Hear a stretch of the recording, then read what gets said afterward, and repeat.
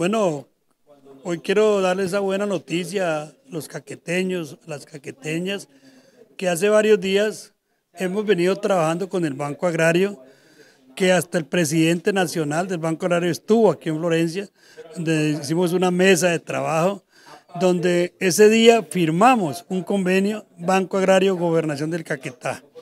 El Banco Agrario nos va a apoyar con 3.200 millones, la gobernación va a colocar 160 millones para apoyar a mujeres rurales y jóvenes rurales con un crédito de hasta 15 millones de pesos.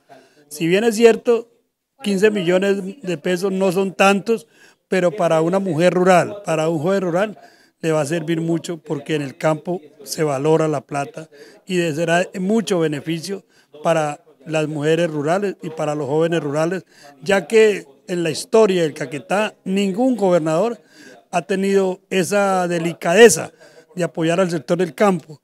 Y yo como campesino que soy, y hoy como gobernador caqueteño, he puesto los ojos en el campo caqueteño, en el sector rural, ya que es donde depende la economía de este departamento.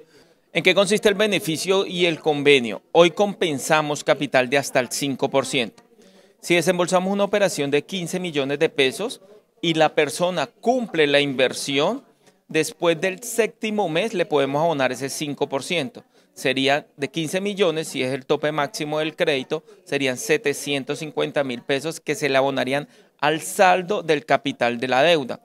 Pero amarrado a esto, vamos a tener el doble beneficio, porque el gobierno nacional acaba de sacar las líneas especiales de crédito con tasas de interés. O sea que tendríamos dos beneficios. Uno, por parte del departamento, el capital, bajamos el capital al crédito.